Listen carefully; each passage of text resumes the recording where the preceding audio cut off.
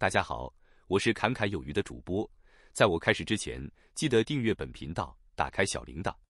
这样我发表新内容时，你才能获得最新的节目通知。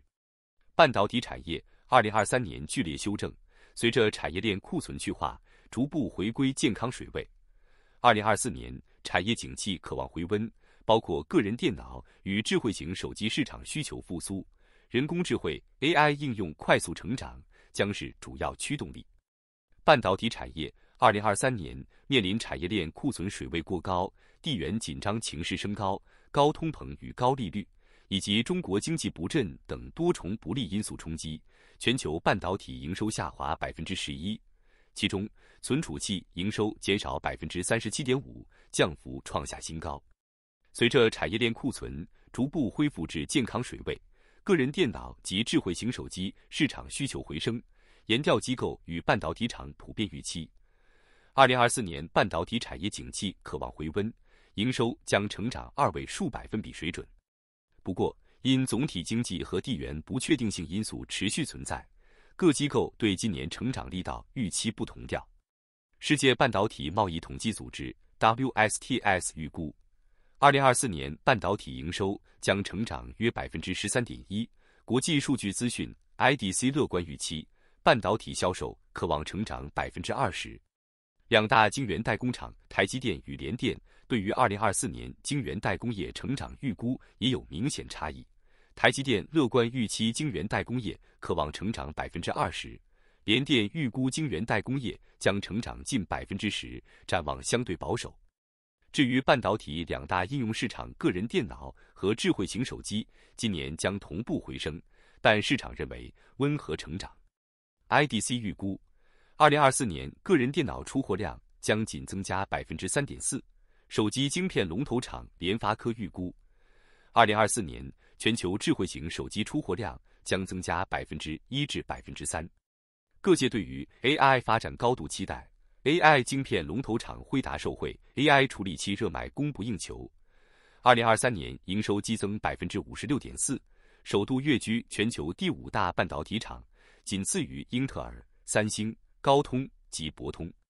AI 训练和推理所需的运算量不断增加，加上 AI 功能逐步导入个人电脑、平板电脑和智慧型手机，带动相关产品升级需求。AI 商机自云端伺服器扩及边缘个人装置，包括超微、AMD、英特尔、高通和联发科争抢相关商机。AI 需要半导体先进制程技术，台积电二零二四年受惠 AI 相关的旺盛需求，美元营收可望成长百分之二十一至百分之二十六，将创新高，表现将优于晶圆代工业水准。台积电看好 AI 不仅是今年营运创高的主要动能。并预期相关营收贡献可望逐年成长百分之五十水准，估计五年后所占营收比重有机会达百分之十七至百分之十九。联发科也看好 AI 将无所不在，是中长期成长动能。综合各半导体厂看法，AI 将会是驱动半导体产业成长的重要动能。据海外知情人士爆料，辉达正在成立一个新的业务部门。专为云端运算公司、科技巨头等设计客制化晶片，包括先进的人工智慧 AI 处理器、汽车晶片、游戏机晶片等。客制化晶片可以实现更高的能效，从而节约成本。目前，辉达占据全球百分之八十的高阶 AI 晶片市场。由于人工智慧的火热，其股票市值在二零二三年增长超过两倍，二零二四年其市值达到一点七三兆美元。微软、OpenAI、Meta 等公司竞相采购辉达高阶 AI 晶片，以寻求在快速增长的 AI 领域保持竞争力。当前，辉达 A 一百、H 一百、H 二百等最先进 AI GPU 供不应求。消息人士称，辉达正试图参与到大型科技巨头开发客制化晶片的流程中。此前，博通、美满电子、Marvel 等竞争对手已经帮助客户开发客制化晶片。知情人士还表示，辉达高管已经会见了亚马逊、微软、谷歌和 OpenAI 公司的代表，讨论客制化晶片事项。除了数据中心用晶片，辉达还瞄准电信、汽车和视频游戏客户。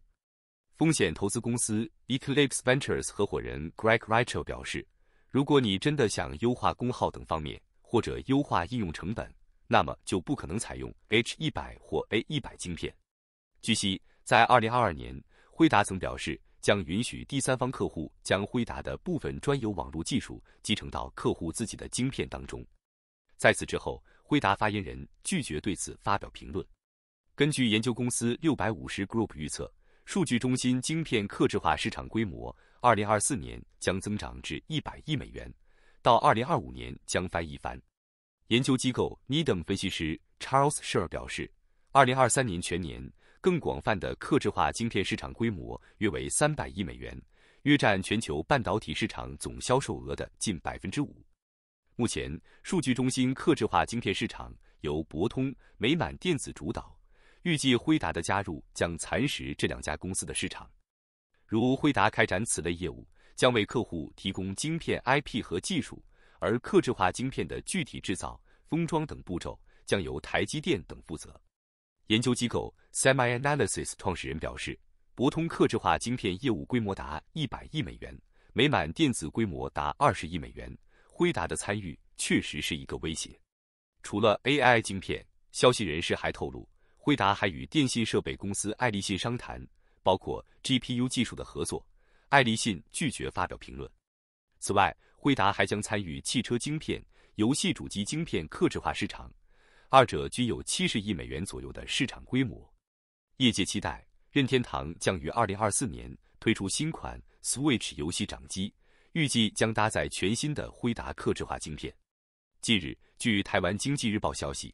台积电五纳米以下先进制程订单满手之际。大客户 AMD 冲刺电脑中央处理器 CPU 本业，今年将推出研发代号 Nirvana 的三五全新架构平台，强化 AI 终端应用布局，涵盖桌机、笔电与伺服器等领域，让台积电先进制程再迎来大单。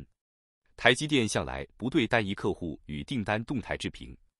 法人指出，AMD 今年在 PC、伺服器新品。以及现有高速运算 HPC 晶片出货持续畅旺带动下，对台积电下单量只增不减，主要在三、四、五纳米制程，进一步拉升台积电接单动能。此外，台积电为应对苹果、辉达、超威等大客户几年内先进制程与先进封装大订单，今年全力扩展三纳米系列及先进封装产能。先进封装涵盖 CoWoS、SOIC 等。台积电、中科、南科及竹南先进封装厂都有望是扩产主要厂区。台积电说明会预告，今年资本支出落在二百八十亿至三百二十亿美元，百分之七十至百分之八十将投入先进制程，另百分之十至百分之二十特殊制程，其余百分之十先进封装、测试及光照制作等。台积电董事会已核准资本支出预算案九十四点二一亿美元。将近全年资本支出预算三分之一。法人预期，台积电之前订购先进制程设备，今年陆续交货，加上产能扩展设备需求，成为台积电第一季大量资本支出的关键。摩根士丹利证券在农历年假期间发表报告指出，台积电今年人工智慧 AI 半导体占总营收比重将提高到百分之十五，且在整体 AI 供应链具备战略价值。将是 AI 半导体的长线赢家，有助于股价重新评价。大摩对台积电重申优于大盘的平等，并将目标价从六百九十八元调升至七百五十八元新台币，居外资第三高，仅次于摩根大通证券的七百七十元、美银及高盛证券的七百六十元。OpenAI 执行长奥特曼 Sam Altman 希望在全球半导体业投资数兆美元。大摩认为。台积电拥有领先的代工服务技术领导地位及有利的成本结构，与英特尔晶圆代工服务 EX 等同业相比具有明显优势。大摩认为，台积电的股价已反映利空，但表现落后同业，有望从目前价位起涨。大摩统计，在过去一周，台股因农历年假休市时，台积电 ADR 上涨百分之十，台积电的主要客户辉达上涨百分之四。纳斯达克指数则涨百分之二。大摩认为，台积电可能对主要客户涨价百分之十，以转嫁美国厂的较高成本。且已下单十多台及紫外光 EUV 曝光机设备，显示二零二五年及二零二六年的三纳米需求强劲。大摩初估台积电二零二六年的营收可望成长十五百分号，二零二四年及二零二五年营收都预估成长于百分之二十，因此调高目标价约百分之九，以反映强劲的成长动能。那么本期影片到这里就结束了，感谢你的观看，期盼能与你产生共鸣。侃侃而谈，阔论有余。最后，请你点赞、订阅，这是对本频道最大的支援了，谢谢。